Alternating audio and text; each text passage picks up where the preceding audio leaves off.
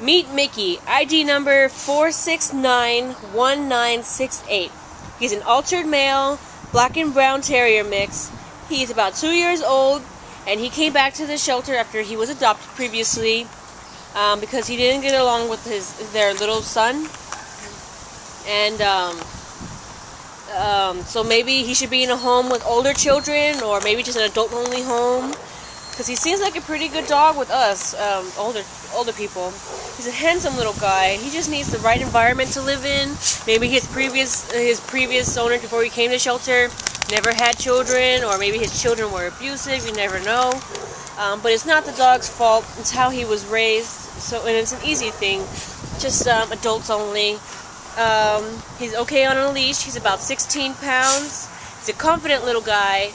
Um, he seems to do well with other dogs, but may, may need to be the only dog, depending on your own dog. Um, but then uh, again, I must stress that he should be the only dog. Uh, only he should be in an adult-only home, just just so that he won't come back to the shelter again. Um, but anyone looking for a nice, independent little guy like him, come meet this handsome guy with the most beautiful eyes ever here at the Carson Animal Care Center.